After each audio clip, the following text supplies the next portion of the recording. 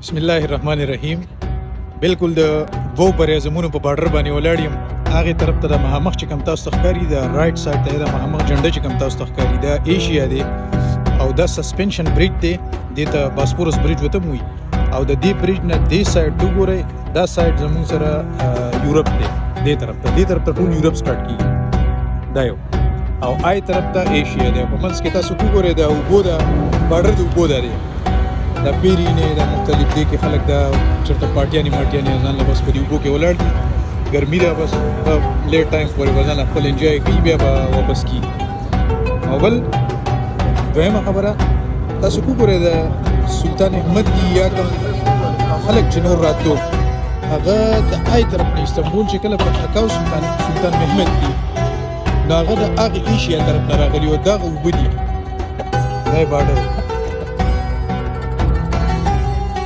اوس ما چې دا بارډر تاسو ویني او دا سسپنشن بریډ دی د استنبول کې ډیر شي دی